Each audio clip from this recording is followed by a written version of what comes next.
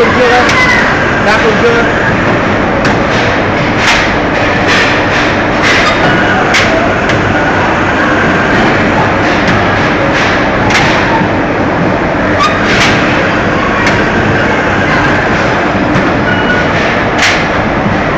Đấy, nó chảy ra.